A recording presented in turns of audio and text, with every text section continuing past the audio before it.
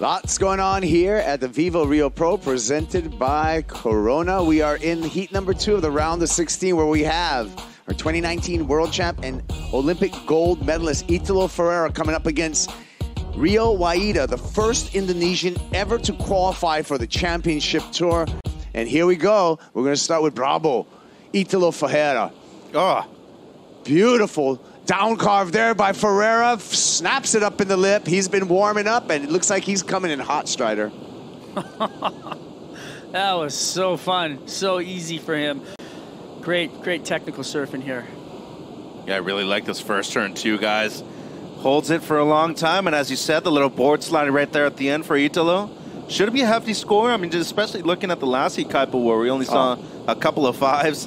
This, no doubt, much better than that, especially when you consider how clean the face of the wave was. Love how long he was able to hold the rail on that turn, though, and then comboed it up. Nice turn into the lip right there for the former world champ, especially coming off of a poor result over there at Punta Roca. He's looking to have a major bounce back here, Kipes. Yeah. Number just clocks in for Italo Ferreira, a 7.83. Ferreira is going to get a chip in here. Ribs on the face, but that one had way too much turbulence, Mitch. Yeah, and that was a big wave too uh, on the outside, and it's pulling them back out every single second of time out there in the water. He has a rebate here, Kipes. Nice little rebate on the inside here. Ferreira looks down the line, searching for a ramp, finds it, flops it up in the air, right around. Air reverse for Italo Ferreira, continuing momentum down the line. Some froth to deal with. Takes it straight to the face there, no problem, and he's going to ride out of that, back in that 7-8-3, and getting the crowd riled up on the beach. He's giving him chicken skin. Look him. How is this Strider? Check Just, it out. I mean, it's just you could see him telegraphing, knowing it was coming. But the the amount of distance that he threw on that air was ridiculous. He he flew 20 feet across the lip line, landed, and there, you know I know there's all this talk about uh, wave pools and, and wave systems and, and and giving yourself the reps, but that wave was was way it was three times the size of any wave in a wave pool. So like doing it on a, on a bigger wave like that is is so technical, it's so hard, and finding a, a, a ramp and a landing place. I mean, this is just super impressive, beautiful work, harnessing the power. Dang. And then look at how boned out, tail high. Like this is what we came for, and I am so stoked to get to see this right now because this is making us all smile as he did on that first wave. Will he top that 7.83, Mitchell? I think so. J- just due to the radical nature of the maneuver, the progression, and we haven't necessarily seen an air today. And that not only was an air, it was a radical air too, Kaipo. Yeah, I'm going excellent. Yeah. but you know what? It's easy for me to, to say that because like, just when you see something like that in my mind, Here he goes again. Now what's he got for us? Skitter through that. You can see uh the troubled water of this. Looking for a ramp. Hydroplaning through a couple of flat sections and a forced straight air, no harm, no foul. Ferrer will still have a giant lead over Rio Waida. well, but you know what? Let's see it. Come on, Rio. Here we go. Oh. Priority with Rio Waida. He looks Yep. like interested in this one. He's going to activate. Rio looking down the line. Banks off that section. Comes around the corner here. Hmm. Nice carve off the top. Staying smooth until he gets swept off his heels.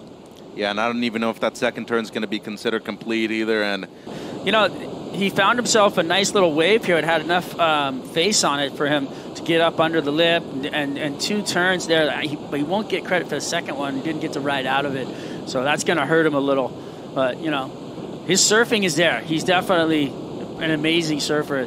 He, and he does Is the most dang- maybe the most dangerous surfer in the draw right now, or at least one of them as far as the performance level that he's bringing. here he goes. Woo! Smash.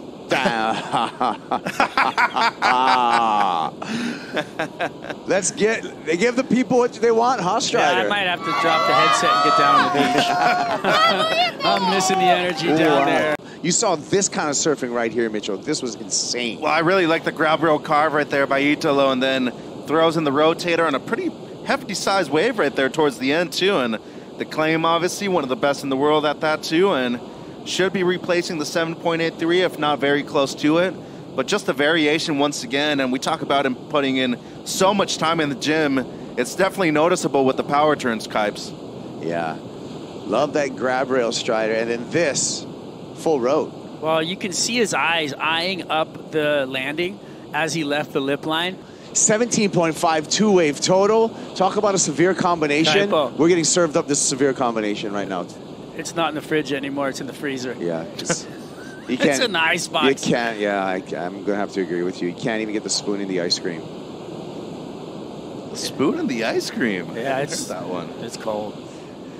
And then he's just going to flow on the backhand right here. This is not going to be one of his top two, but he's just having a good time. Yeah, he's enjoying himself, and that's the most dangerous version of Italo. And He's opened up with a 7.83. Then he backed that up, improved upon that with an 8.5, and then got a flat nine. And here he goes again, back up in the air.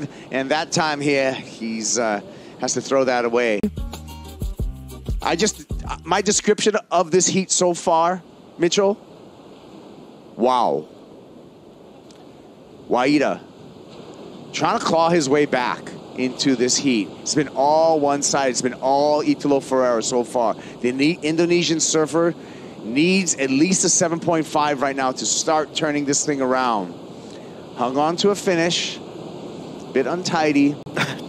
well, there's there is 12 minutes. I mean, anything can happen. The first one's not bad though, guys. Then carves it back, and it's really the finish where he struggled both times on his best waves, the 2.83, and then this one right here. But yeah, I mean, I gotta agree with Strider. This one's not only in the fridge; it's in the ice box right now in the cooler, and you know, it's a bummer because Rio up until this point had had at least a seven in each one of the heats he'd served, and he's just struggled to find a good wave so far in this one. This was his best maneuver of the wave. Um, unfortunately, he kind of went flat on the top of the wave after, and it, it didn't give him the opportunity to stay like in the lip vertically all the way around. Uh, that would that could have given him some kind of an elevated score, and the rest of the wave kind of let him down too, uh, just with the wave surface. So he's going to get back out there, reset. something we haven't seen so far today, and it seems like caught another wave too, Kaipo. This guy's been busy. This is already his 11th wave so far in this heat. Yeah. People caught onto it eventually and made him pay with the good use of priority that they had against him. And now it seems like by catching more waves once again, he just finds a rhythm of his own good surfing that always puts him in that headspace of being, hey, like more waves, more opportunities. Like I, I agree with you. Here we go. Rio, nice looking face on that wave, nice and smooth. Couple of big hmm. backhand carves. Now this wave on the way to getting Rio trying to break free of that combination, but it is such a big combination at that 17.5 two wave total that he needs. Again, needs a 7.5 to get out of that combination, Strider. That was close to it. Yeah. if not it. That was Yeah. two beautiful precision turns up into the, you know, really fast. The first one a little cut short, I felt like, but the second one was money. So look, Yeah. I mean that could have been a Let's not even go there right now. Let's Okay. not let's not jinx this because something's gonna happen eventually. The combination was great though. I mean, very powerful right there. Good variation. You too. Look at this first carve though, off of the bottom strong. On the face of the wave right there. I mean, his backhand bottom turn has to be one of the top ten on tour, and I really love the way he's been able to project down the line with that Ah. carve and into the lip a couple of times throughout the first two days of competition. Kaipo, I mean, seven five is what he needs, and it Got seems out like he of broke it. it. Yep.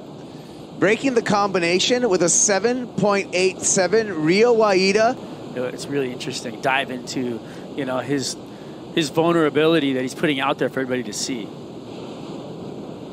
Waida needs to go excellent. This is not an excellent wave for Rio Waida. Five minutes remaining here, and it seems like it'd be a great time to check out a heat recap against Gabe Medina in the yeah, final. Yeah, I mean that was incredible. so many to choose from. Eight total for Italo Ferreira. Eight CT wins um, uh, for the surfer who's been on tour for nine years. So, well, Italo Ferreira in blazing form, uh, moving into the quarterfinals. Look at the numbers: a nine and an eight point five for Ferreira. That's it, Italo. So yesterday you were here super nervous with that buzzer beater feeling. And today you woke up and decided to resolve your problem in less than 10 minutes. How are you feeling about that heat? I decided to surf, you know, that's um I talked to Marco before the heat. I was like, I'm, I'm gonna try to like catch a wave, four waves, and um, yeah, I like to surf, you know, like not to be like trying to find a wave and I'm, I'm trying just like catch wave every single like moment and do my tricks and then yeah pushing the limit you know so that's what I did in the last one. We saw you caught more than 12 waves I think. How, where do you take so many energy from and inspiration to, to be so energizing in the heat? It's the secret right here, Red Bull. Um, yeah, I was like, I woke up this morning, I was like, uh, I checked the wave and I was like, so windy. I was like, Jesus. And then the wave was like huge in the morning and there was like no one in water. I was like, oh, today is perfect. And people in the water like trying to catch a wave, and today was like just the surfers, like the pro surfers. I was like, okay, so let's try to find something. And then I broke my board in the morning, had like a couple little moments, and and then I saw like one of those heats before, and I was like, okay, there's some good ramps, there's some good moments. Just like trying to find um, like good like movement like around the um, on the on the outside, and then yeah.